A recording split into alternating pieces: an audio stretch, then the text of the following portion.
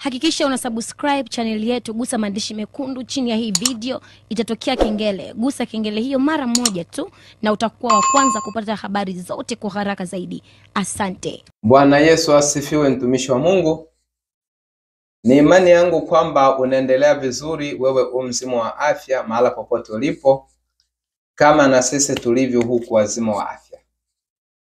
Naomba nikukaribishe tena sana katika dakika hizi chache ambazo ninaamini kwa uwezo wa Roho Mtakatifu na kwa mapenzi ya Mungu, yako mambo makubwa sana ambayo baada ya wewe kuyasikia bila shaka patakuwa na uponyaji wa mwili wako, nafsi yako, akili yako, hata utakatifu wako.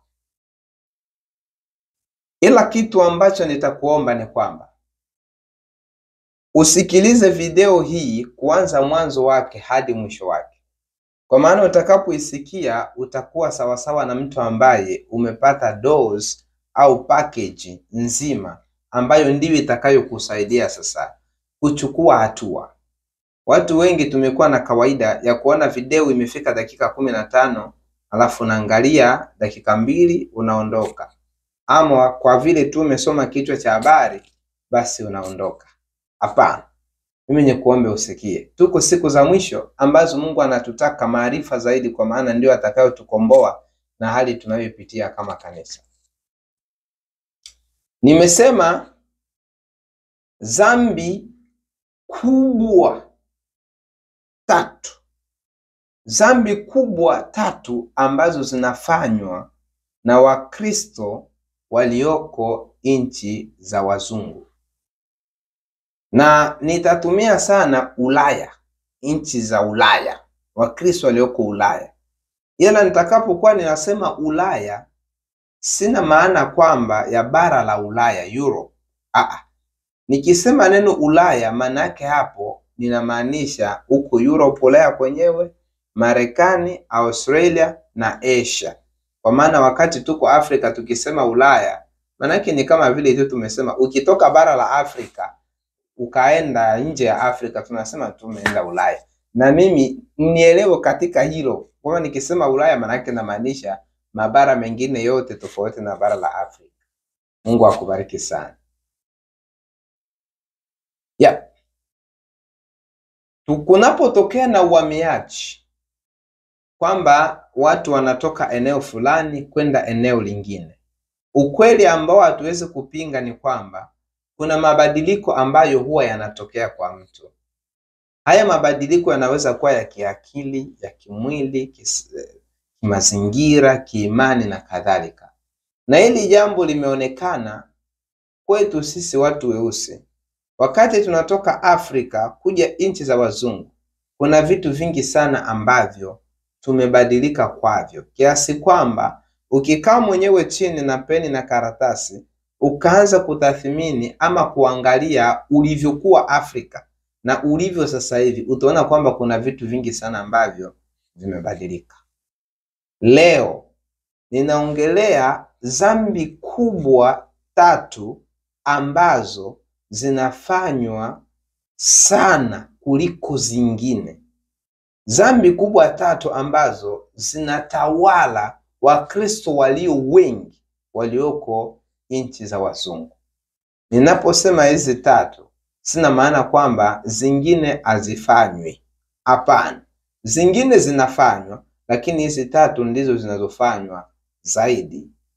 Ninaposema zinafanywa sana hizi dhambi tatu, pia sina maana kwamba kila Mkristo aliyoko Ulaya manake anazifanya hizi dhambi. Hapana, wako ambao hawazifanyi, ila wale wanaozifanya ndio wengi zaidi kuliko wale ambao hawazifanyi. Hiyo ndiyo maana yangu, hiyo ndiyo maana yangu. Ninaposema hivi, sina maana kwamba Ulaya ama nchi za wazungu hakuna watakatifu. Hapana, watakatifu wako, maana hata hizi dhambi ninazoziongelea hapa hata kwetu Afrika bado zinafanywa, lakini tumeziweka sasa kuziongelea kwa sababu ufanywaji wake umeongezeka maradufu, umeongezeka zaidi kuliko vile ambavyo tulikuwa tukizifanya kule Afrika. Sasa baada ya kufika huku kwa wazungu, zinafanywa katika kiwango kikubwa, ndio maana zime zimepata nafasi hii ya kuongelewa. Nitakapozitaja hizi dhambi kuu tatu, sitazitaja kwa namna ambayo tumezoea kwamba namba moja ni dhambi fulani, namba mbili dhambi fulani, namba tatu. Hapana, ziko tatu. Kuliko kuanza namba moja, namba mbili, namba tatu, mimi nitaanza sasa kinyume chake, namba tatu, namba mbili, namba moja, na hivi ambavyo nitakavyozitaja, manake ndivyo ambavyo zinazidiana kufanywa na watu wengi. Namba tatu inafanywa na wengi, lakini namba mbili ndio inafanywa na wengi zaidi. Ninapokuja namba moja, kwa namba moja ndio inafanywa na wengi zaidi na zaidi ya hizi namba tatu, namba mbili. Ili nisikuchoshe, nina kawaida ya kutuma vipindi, mahubiri, mafundisho na kuupdate ama kukumbusha Wakristo mambo mbalimbali yanayotendeka makanisani kupitia channel hii. Hivi nitakuomba kama uja subscribe ungefanya hivyo, kwa maana uwe sehemu ya kusikiliza kile ambacho kinafanyika hapa. Hapa ndipo sehemu pekee utapata vitu ambavyo havichangamani na shetani. Hapa kuna hekima ya kimungu. Mungu akubariki sana. Dhambi namba tatu ambayo inafanywa na Wakristo wengi walioko nchi za wazungu ni dhambi ya ulevi. Ulevi, ninaposema ulevi, maana yake ninasema unywaji wa pombe. Hii ni dhambi ambayo inafanywa kabisa na Wakristo wengi huku Ulaya ama nchi za wazungu.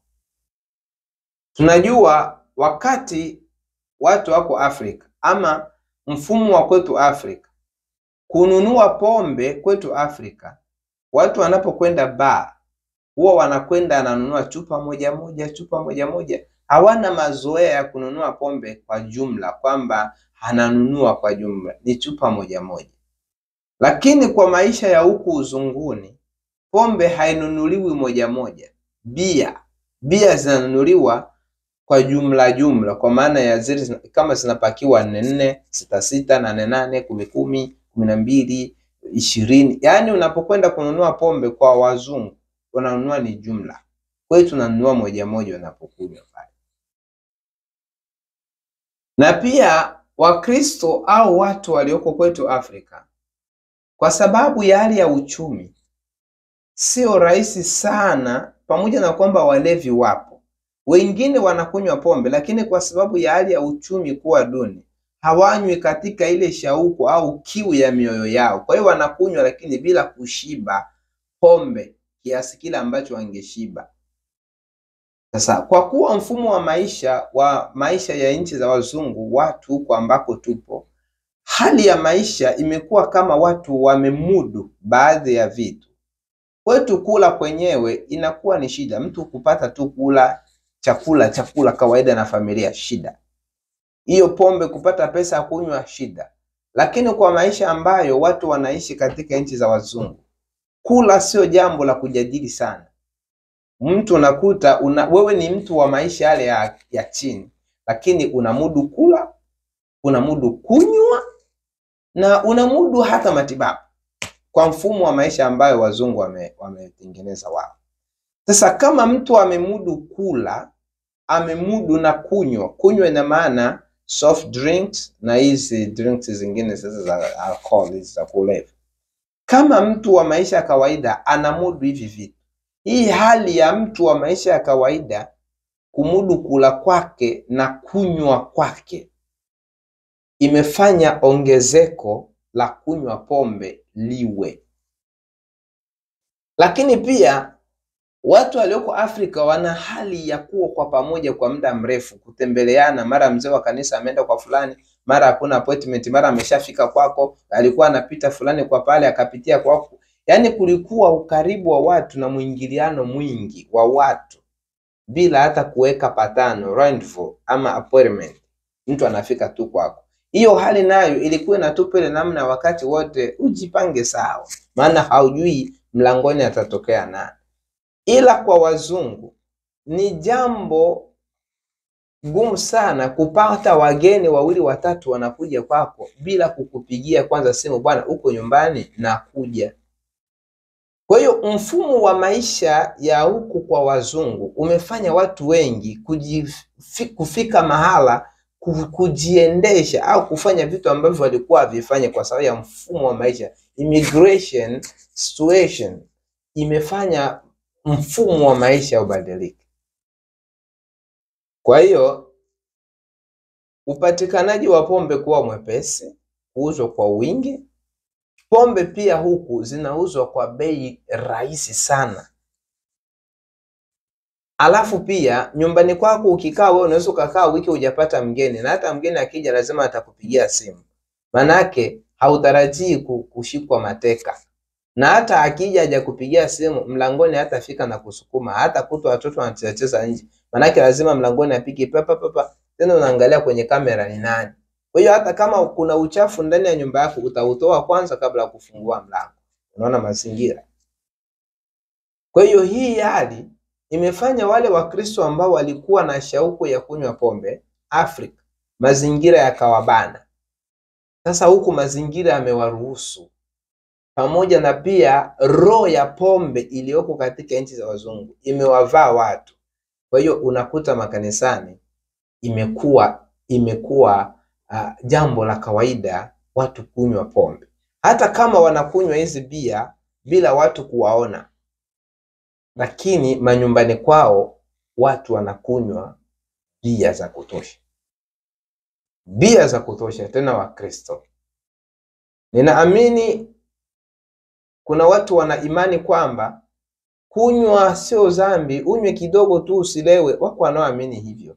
Wako wengine wanaamini kwamba hakunywa hata ukilewa, lakini kama umenywea kwako hautatukana mtu, hakuna shida. Wengine wanasema hivyo na wengine wanasema hata ukinywa tu Mungu haina shida, kimwingizacho mtu akimfanya unajisi, bali kimtokacho. Wengine wanasema hivyo, ila mimi ninaamini hivi, Biblia ninayoisoma, kunywa pombe ni dhambi na ndicho ninachokiongelea sasa. Ina maana naongelea na wanaokunywa kidogo na wanaokunywa bila kulewa na wanaolewa, lakini kunywa ni dhambi. Hii idadi ya Wakristo kunywa pombe imeongezeka sana. Yawezekana hatuwaoni, yawezekana tunawaona, yawezekana hatuwajui, yawezekana tunawajua, lakini idadi imeongezeka. Walio wengi waliotoka kule wanakunywa wanajificha, sasa huku wanakunywa hadharani. Waliotoka kule wanakunywa aa, wanakunywa sio kujificha, lakini wanakunywa moja moja moja moja. Kufika huko sasa wanakunywa tano tano tano tano. Waliotoka kule walikuwa wanapenda harufu, wengine wanapendaga napendaga harufu ya bia, ile harufu tu naipendaga, lakini ah, sasa wale waliopenda harufu huko wanapiga tatu tatu. Wale ambao walitoka kule kabisa, ambao wanakuaga na marafiki wanywaji, kufika huku wameanza kunywa. Kwa hiyo hiyo ni dhambi ya tatu ambayo inafanywa sana na Wakristo walioko nchi za wazungu, na kama tunavyojua huku kwa wazungu, roho ya pombe ya ulevi ni mfalme kabisa, imetawala sana. Kwa maana utaenda kwa wazungu, katika wazungu mia, katika wazungu mia utakuta saba ndo hawanywi. Katika wazungu mia utakuta saba ndo hawai, na hawa saba ukiwauliza, maanake kuna mambo mawili. Jambo la kwanza, ama awe mchungaji, mtu wa kanisani kweli kweli. Jambo la pili, au au alishauriwa kutokunywa. Wazungu wanakunywa pombe. Kwa hiyo ambao kwa wazungu utakuta hawanywi pombe ni labda watu wa kanisani, unakuta labda anakunywaga moja moja moja ile kaka. Kwa hiyo walevi wameongezeka sana makanisani, Wakristo wameanza kunywa pombe, ila sio wote, baadhi, idadi yake imeongezeka. Tunaongelea dhambi tatu kubwa zinazofanywa na Wakristo walioko nchi za wazungu. Dhambi namba mbili ambayo inafanywa sana na Wakristo walioko nje, uzinzi na uasherati. Uzinzi na uasherati ni dhambi ambayo inachukua nafasi ya pili kufanywa sana na Wakristo walioko nchi za wazungu. Kama tunavyojua kwamba wakati prosesi zinafanyika za watu kutoka Afrika kuja nchi za wazungu, kuna watu ambao wamepitia shuhuda mbalimbali, kuna watu ambao wamepitia eh, faili zao zilikuwa na status, zilikuwa na muonekano tofauti tofauti. Wako akina mama, akina dada wengi ambao wameacha waume zao wakaja. Wako wanaume wengi ambao wameacha wake zao wakaja. Wako watu ambao wameacha wachumba wao wakaja. Na imetokea mara nyingi unakuta mtu anaambiwa akiwa Afrika, ah, sasa wewe unataka usainie watoto wako waende kama mfano faili limekuja, mume wako faili lake limefunguliwa ama amefungulisha faili, wakati huo amko pamoja, mwanaume unafanywa tu kuitwa sainia watoto hapa waende. Mwanamke ama mtu anayesimamia kesi anaambiwa ukimweka kwenye kesi yako kwenye faili lako, maana yake kesi itachelewa, faili litachelewa, safari itachelewa. Chagua sasa, safari ichelewe au asaini uende, alafu atakukuta huko. Eh, basi bora asaini na saini. Lakini ukiuliza, je, unajua ile karatasi uliosaini imeandikwa nini? Hakuna anayejua, hakuna anayeulizaga hii karatasi ambayo nimesaini ime, nimesaini nini? Watu wanajua tu nimesaini watoto waende, lakini pale kuna maneno mengi yaliyoandikwa na kuna vitu vingi ambavyo tunavisaini bila kujua ni gani. Leo siongelei ile karatasi inakuwa imeandikwa nini. Ipo siku nitakuja nitaisemea pale unaposaini huwa panaandikwa nini.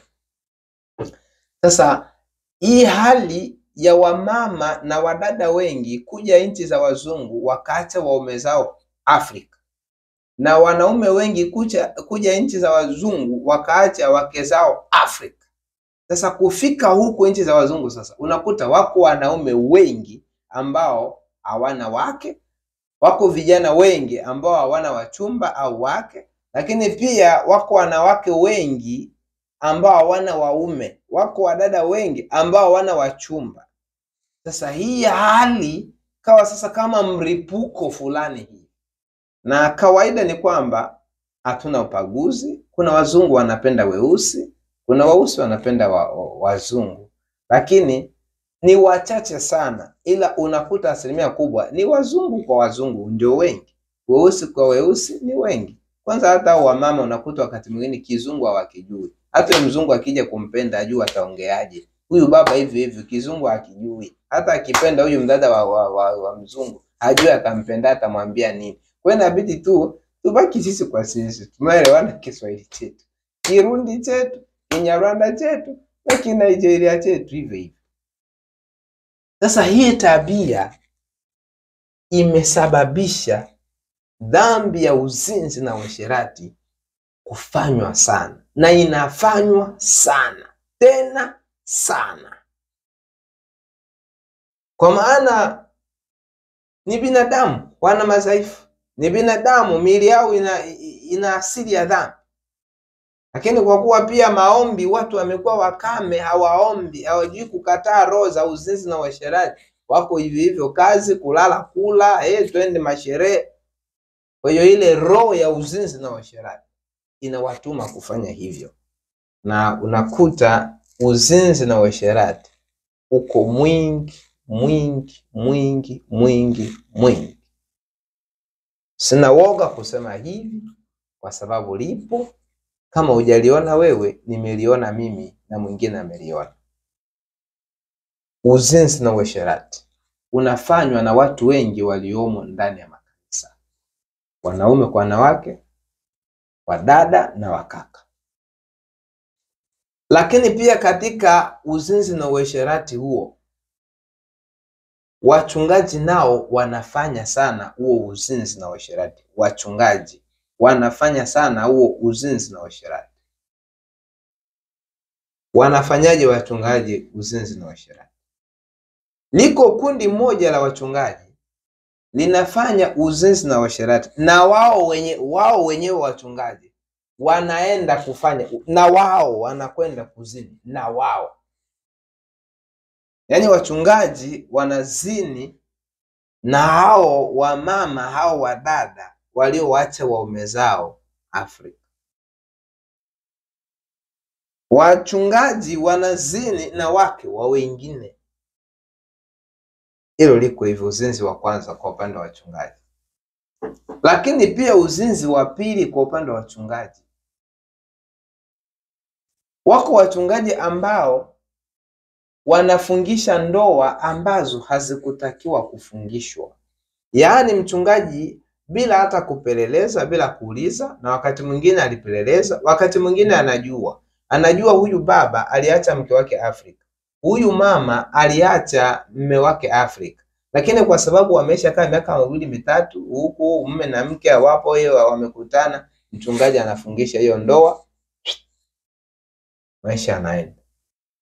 Sasa kawaida, dhambi ya uzinzi na uasherati huwa ifanywe na mtu mmoja, huwa inafanywa na watu wawili, mwanamke na mwanaume ili uzinzi uwepo, ili uasherati uwepo, lazima watu wawili. Maanake hii ni dhambi ambayo haijawahi kufanywa na mtu mmoja kama dhambi zingine.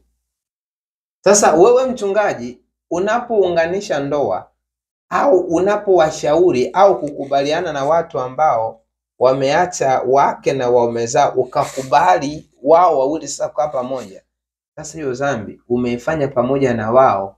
Kwa hiyo na wewe ni mzinzi mchungaji na wewe ni mzinzi.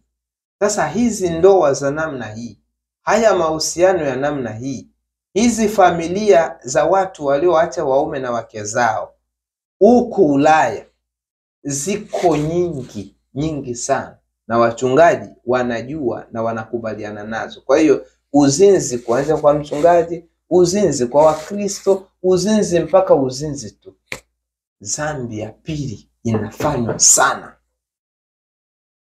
Ni roho imevaa, na hizi roho ziko huku kwa wazungu, lakini watu wanakuwa watambui kama ni roho tumekuja kuzikuta huku na zimetuvaa. Kuna jambo lingine katika uzinzi na uasherati. Kwetu Afrika, mtu kusema I'm single, I'm single, wengine wanasema bachelor. Uh, kwamba mimi ni single ina maana sijaolewa au sijaoa. Hili neno kwetu Afrika huwa linatumiwa na tulikuwa tunalitumia pale ambapo labda umri wako wewe umeshakuwa mkubwa kiasi kwamba watu wanatarajia uitwe mama fulani, baba fulani, yaani miaka yako imeenda sana, ni mtu unayestahili kuitwa baba wa fulani, mama wa fulani. Sasa watu wanapokuuliza bwana, una watoto wangapi? Bwana, eh, una mke bwana? Sasa ndio mtu anasema hapana, sijaoa, sijaolewa, niko single. Una anaulizwa mtu ambaye umri wake unaonekana kuitwa baba, mama. Sasa kwa huku kwa wazungu, yaani unakuta na mtoto wa miaka kumi na nne, miaka kumi na tatu, miaka kumi na tano, ni ngapi? Na yeye anasema niko single, niko single. Yaani anasema niko single. Sababu yake ni nini? ni roho pepo wa uasherati ambaye amevaa watu na ameweka makao ndani ya akili za watu. Kwa hiyo neno single e, sijaolewa, yani imekuwa kama ni fashion kuliongea mbele ya watu. Sasa tafsiri yake ni kwamba unaposema mbele ya watu sijaolewa, sijaoa, maana yake unawaambia watu kwamba mimi mlango uko wazi, niko free, kama unapenda wewe njoo tupendane tu, kwa maana niko sawa, sina mtu mimi.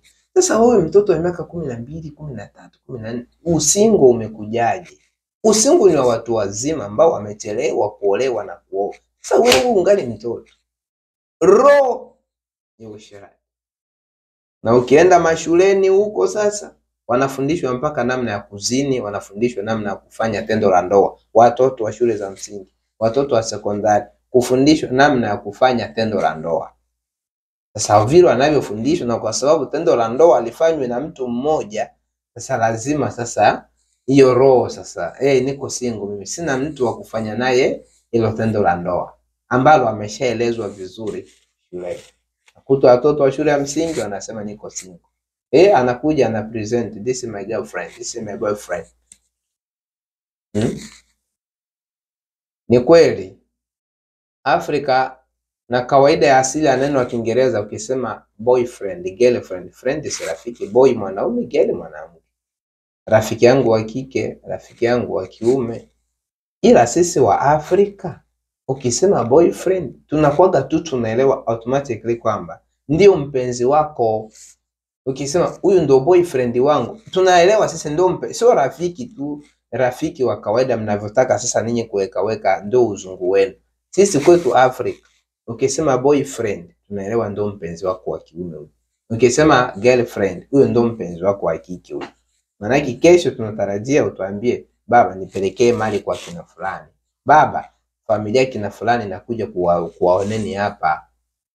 Sasa huku ili neno boyfriend, girlfriend, yeah, yaani ni kusema sema tu. Sawa, mnajua kizungu ndo maana yake hiyo ninyi mnayosema, lakini pamoja na hivyo sasa ndo roho inakuvaa hivyo katika kuseremka, katika kujua kizungu na kujua kujieleza sana, ila ndo roho yenyewe hiyo.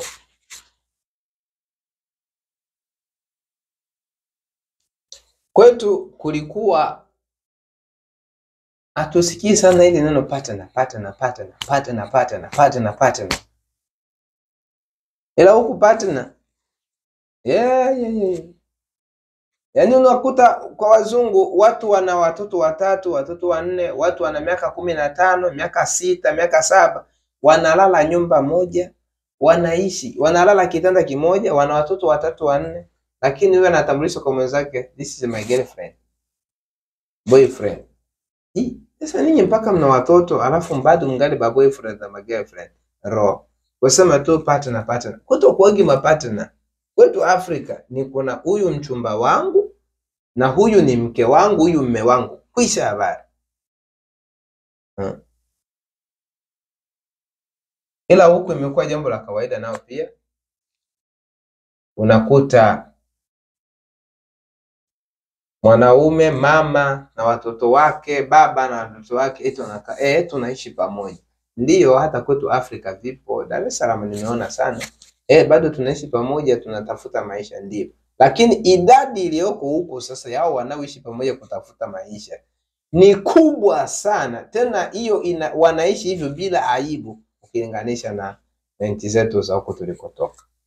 Kwa hiyo dhambi ya uzinzi na uasherati inafanywa sana tena sana na Wakristo, wachungaji wakijua, wengine hawajui. Wachungaji wengine wako serious kusimamia hili jambo na wengine wanaacha tu twende, ili mradi Wakristo wako wengi. Kwa hiyo hii ni dhambi ya pili kufanywa sana na Wakristo walioko nchi za nje. Dhambi ya kwanza ambayo ina nafasi ya kwanza kufanywa sana na Wakristo ambao wako nchi za wazungu ni dhambi ya wizi. Wizi, wizi. Nikisema wizi, wizi maana yake nini? Ni kuchukua kitu cha mtu. Wizi maana yake kuchukua kitu ambacho sio cha kwako. Wizi maana yake kutumia kitu ambacho haukutakiwa kukitumia. Wizi maana yake kujimilikisha kitu ambacho hukutakiwa kumiliki, ama unamiliki kitu bila idhini iliyo halali ya mmiliki mwenyewe. Na labda unaweza ukajiuliza, wanaiba nini mtumishi? Je, wanavunja mabenki ya watu? Wanavunja maduka, nyumba za watu? Hapana. Wakristo hawavunji maduka, hawaibi kwa namna hiyo, na hata kama nasema ni wezi, hawaibi kwa namna hiyo ambayo hapo unaweza ukafikiria. Watu wengi wanaingia kwenye vitendo vya kuiba pesa, na watu wengi kweli wanaiba pesa, wanaiba pesa, wanaiba pesa. Wanaibaje pesa? Na uwizi wa pesa kwa Wakristo eh, umekuwa kawaida. Uwizi wa pesa kwa Wakristo umekuwa wizi wa kawaida kabisa, na wachungaji wengine wanaiba humo. Kwetu Afrika tulikuwa tumezoea uh, ku, ku, ku, ku, kupeleka kodi serikalini kupeleka kodi serikalini. Uh, unapeleka kodi serikalini, lakini hautarajii siku moja kama hiyo kodi itakurudia.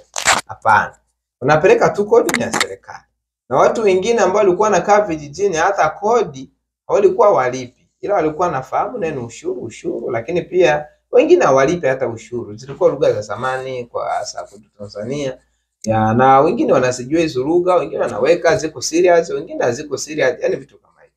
Ila kwa mifumo ya huko ambako tumekuja, kila mtu anaweka kodi, yani utaki ustaki tena kiroho safi, na unaweka kwa mfumo uliotengenezwa kiserikali ambao hakuna mtu akukwepa kulipa kodi. Ila kama tunavyojua wote, tunalipo- tunapolipa kodi, ila mwisho wa mwaka ukifika, kodi zinaturudia. Nakumbuka rafiki yangu Mela kwenye kipindi chake cha Chekecho, na hata hivi hapa ukiandika Chekecho, Chekecho tax return, aliwahi kujadili jambo kama hili, aliwahi kuchekecha jambo kama hili, namna ambavyo Wakristo wanavyoiba pesa za serikali na madhara yake, ila mimi sitaongea madhara yake. Watu wengi tunafika mahala unakuta familia mna watoto watatu, watoto wanne, mme na mke mnagawana. Wewe ili tupate pesa ya mingi, wewe omba hiyo tax eh, kodi zikurudie, omba na hao watoto watatu, mimi niombe na hao wawili. Ujanja ujanja, mnafanya hivyo ili mpate pesa nyingi, kwa sababu mnajua tukiomba wote kama familia kwa pamoja, labda pesa ambayo tutaipata haitakuwa sawasawa na pesa ambayo tukiomba tukiwa tumejitenganisha. Huo ni wizi, huo ni wizi. Lakini pia kuna jambo lingine, watu tunafika mahala mpaka unakuta wale watoto wako wewe unamuuzia mtu mwingine ili aombe nao. Unampa mtu watoto wako kwamba omba na hawa watoto wangu ili upate pesa nyingi, alafu utanipa dola elfu moja zinapokuja. Huo ni wizi, na hii dhambi inafanywa sana tena sana tena sana na Wakristo walioko nchi za wazungu, dhambi ya kuiba pesa za serikali. Na wako wengi, haijalishi ni wachungaji, haijalishi ni Wakristo, wazee wa kanisa, wako wengi wizi wa. Hapa nitapafafanua vizuri kwa sababu pana vipengele vingi katika wizi na nitaomba unielewe vizuri. Wizi wa pesa unafanyika sana sana tena sana tena sana, lakini pia pamoja na kwamba tunaiba pesa za serikali kwa asilimia kubwa, kiko kipengele kingine cha hii pesa inavyoibiwa pia na Wakristo. Wakristo tunaiba pesa ya serikali, lakini pia tunaiba pesa ya Mungu. Tunaibaje pesa ya Mungu? Kuna Wakristo ambao toka wameanza kufanya kazi hawajui kutoa fungu la kumi, na wakitoa fungu la kumi wanatoa kwa kurukaruka miezi. Mwezi wa tatu alitoa fungu la kumi, lakini pia akatoa mwezi wa nne mara moja, akatoa mwezi wa saba, yani anarukaruka. Wakati huo yeye anapata mshahara kila wiki kila wiki, lakini anahesabu kwa mwezi, anatoa wiki moja, ama baada ya miezi mitatu ndo anatoa wiki moja, miezi mingine anatoa. Wakristo wako wengi ambao wana habari ya kutoa mafungu la kumi, na wengine huwa wanatoa fungu la kumi, lakini hawalitoi katika ukamilifu wake. Wakati neno nasema leteni zaka kamili, wao hawatoi kamili, wanatoa kwa mapungufu na wengine wanatoa mafungo ya kumi mwezi au wiki ambayo atapata hela ndogo ndipo atatoa fungu la kumi, lakini wiki ambayo amepata hela nyingi anasahau fungu la kumi atatoa. Wizi, tunamwibia Mungu. Kwa hiyo tunamwibia serikali wakati wa kuiba kwa serikali, lakini pia wakati wa Mungu tunamwibia pia mpaka Mungu, na ni Wakristo wengi sana tena sana wanaofanya kitendo kama hichi, kuiba pesa ya Mungu kuiba pesa ya serikali. Hii ni dhambi ambayo haitaruhusu mtu kwenda mbinguni kama anafanya hivi. Lakini pia kuna wizi mwingine wa wachungaji, hii pesa. Wachungaji nao wanaiba pesa, wezi sana. Wanaibaje? Labda utajiuliza. Pamoja na kwamba Wakristo wanatoa haya mafungo yao ma ya kumi kwa udhaifu, pamoja na kwamba Wakristo wanatoa sadaka zao kwa udhaifu, ila hiyo hiyo dhaifu inayotolewa na Wakristo, wachungaji nao wanaiba. Wanaiba namna gani? Wachungaji tuliopewa mamlaka ama dhamana ya kuchunga makanisa, wakati mwingine tunatumia sadaka za, za kanisa bila utaratibu unaotakiwa. Unakuta wachungaji wanakula pesa ya kanisa, wazee wa kanisa hawajui pesa inaenda wapi, maelezo hayaeleweki. Mara ni karatasi tu, message mchungaji unamtumia mweka hazina, anahitaji dola elfu mbili kuna moja mbili tatu, pesa inatoka, hakuna ripoti ya pesa na kwendaji. Wizi! Na hii tabia ipo kwa wachungaji wengi ambao tuko nchi za wazungu, kula vibaya hela ya kanisa, wizi wa pesa, wizi wa pesa, wizi wa pesa ni mkubwa sana tena sana kwa makanisa ya huku kwa wazungu.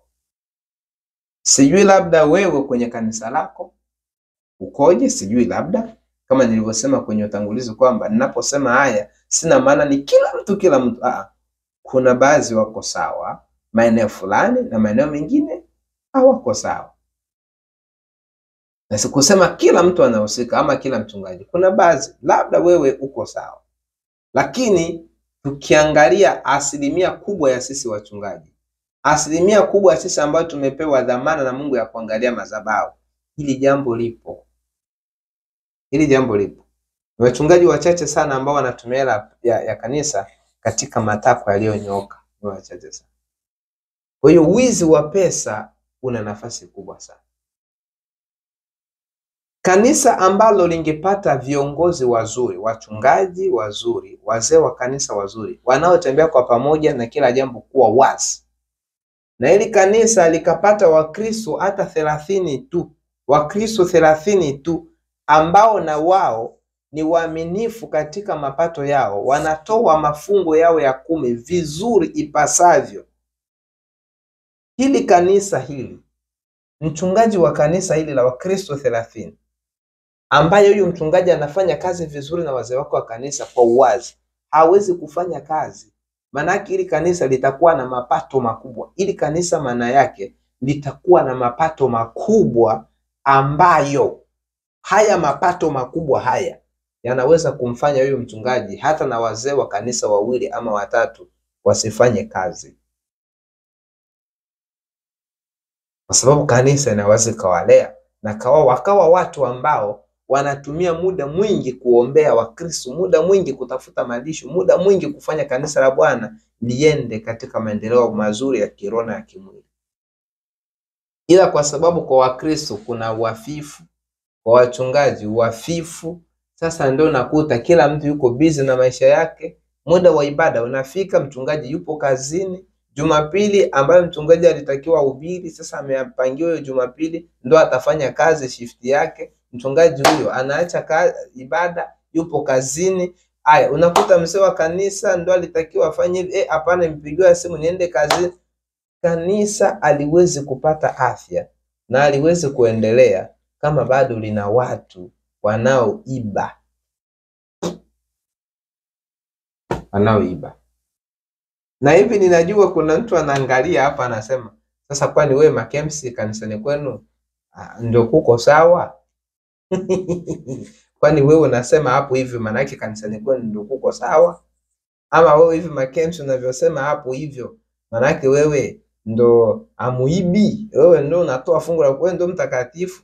Ah, siko hapa kutangaza nani anafanya vizuri na nani anafanya vibaya, kwani naongea hapa katika hali ya jumla, na kwa neema ya Mungu, ipo siku mimi nitakuja hapa kushare na ninyi namna ambavyo kanisa niliyopo, kanisa ambalo na mimi Mungu amenipa neema ya ya kuwa na viongozi wengine, kwamba tunaweza tukapendekeza jambo na likaenda. Nitakuja siku moja niwaambie pesa tu kwa kanisani ambako mimi nipo hii pesa inatembeaje? Hizi sadaka za watu zinafanya nini? Nitakuja nitashare na wewe siku moja kanisani kwetu. Lakini ukiona mwezi umepita sijashare na wewe ili mambo ya kanisani kwetu, pesa inakwendaje, inatumikaje, uni, unikumbushe unijulishe tu kwa simu, unaweza ukanipigia ukasema, bwana, sasa tuambie habari ya pesa kanisani kwenu inakwendaje? Nitakwambia. Kwa hiyo habari ya pesa imekuwa nafasi ya kwanza na imechukua nafasi iliyo kubwa katika makosa au dhambi zinazofanywa na Wakristo makanisani. Hii inafanywa na asilimia kubwa kubwa kubwa. Ina maana kwamba kama mtu haibi pesa ya tax return ya kuomba kodi, kama haibi hiyo, yawezekana anaiba pesa ya fungu la kumi, ni wizi huo huo. Kama mtu haibi pesa ya fungu la kumi, lakini labda yawezekana anaiba, yeye ni mchungaji, labda hela ya kanisa haitumiki vizuri. Kama hela ya kanisa haitumiki vizuri, yawezekana hata huku kwa Mungu kuna vitu havijakaa sawa katika upande wa kiuchumi. Kwa hiyo hii dhambi ya mapato ya pesa, wizi, inafanywa sana kanisani sana. Kama nilivyosema kwenye utangulizi, kusema haya haimaanishi kwamba hakuna watu wanaojitahidi kufanya vizuri. Hapana, wako. Kusema haya haina maana kwamba hawako wachungaji wanaotembea kabisa na ukweli na uwazi. hawapo, ila asilimia kubwa ya watu wengi yako hivyo. Kama utakuwa na swali lolote la kuniuliza au la kunioji, usisahau kufanya hivyo. Unaweza ukaniuliza kwa namba yangu, unaweza ukaniuliza kwenye komenti, lakini komenti inakuwa na changamoto. Wakati mwingine huwa ninazisoma komenti, kama mfano video imepostiwa uh, zile siku tatu nne za kwanza, huwa ninasoma sana komenti, lakini pia uh, zikishaenda wiki na kuendelea, ina inakuwa wakati mwingine ninachelewa kidogo, lakini mimi ni mmoja kati ya watu ambao anajitahidi sana kusoma comment. Ndivyo hilivyo. Mimi ni kushukuru sana kwa kuangalia hii video, lakini tunaposema haya hatusemi haya ili tu ujue kinachoendelea, ujue tu zambi hizi, haya wamesema hivi bwana, viishie hapo. Ah, tunasema hivi ili kwamba ukumbuke wewe, kwa sababu kwa vyovyote katika haya ambayo nimeyataja hapa, yawezekana kuna jambo mojawapo ambalo wewe limekukamata limekunasa. Sasa tumesema ili tukumbushe kwamba bwana, umenata kwenye mtego wa shetani, jinasue, jiokoe nao. Kwa hiyo tumesema haya ili tukukumbushe, na ikiwezekana uchukue hatua, uombe Mungu akurehemu na uanze safari mpya. Yawezekana kanisani ulipo wewe uko sawa, lakini wako wenzako ambao wanapitia hizi changamoto ambazo tumezitaja hapa, waombee, washauri na wabadilike, ili twende vizuri, kwa sababu yote haya tunayoyafanya, kusudi letu kubwa ni kwamba siku moja tukutane kwa Baba, tufurahi, sherekee, tuishi milele. Ndio maana tunafanya yote haya, na bila kupata uzima wa milele, vyote hivi havitakuwa na maana yoyote. Sasa vitu kama hivi ndivyo vitakavyowakosesha wengi kuona ule uzima wa milele kwa sababu tunavifanya kwa namna ya mazoea, kwa namna ya kawaida. Tumeshazoea dhambi, tumeshavizoea hivi, kwa hiyo hatujui tena kama tunakosea. Sasa tunakwenda tunakwenda, kumbe mwisho wa siku ndo tunasomewa lile andiko na Yesu, si kila anitaje ama alitajaye jina la Bwana Bwana atakayeingia katika ufalme. Wanaosomewa lile andiko sio watu ambao hawajaokoka, ni sisi tuliookoka. Maanake iko siku pamoja na kuhubiri kote huku na kufundisha kote huku na kujitoa kote huku, unaweza ukafika pale kwenye geti ukaambiwa aumo hauna kibali cha kuingia. Sasa ili kuyaepuka yote haya, ndio maana Bwana anatupa hii neema ya kuendelea kukumbushana kidogo kidogo kidogo kidogo, ili tuende kwenye mstari wa kweli. Mungu akubariki sana, uwe na wakati mwema. Mimi ni Makemsi Swedi na hii ni Dos Connect, The Mind Shapers. Hakikisha una subscribe channel yetu, gusa maandishi mekundu chini ya hii video, itatokea kengele. Gusa kengele hiyo mara moja tu, na utakuwa wa kwanza kupata habari zote kwa haraka zaidi. Asante.